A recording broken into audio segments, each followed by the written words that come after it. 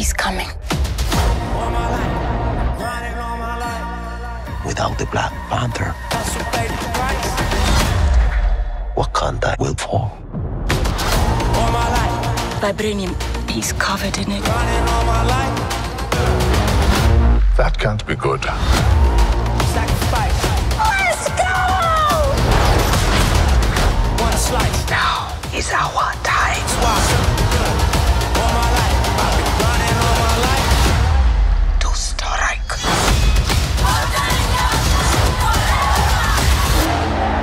Marvel Studios, Black Panther, Wakanda Forever. Only in theaters, November 11th. Get tickets now.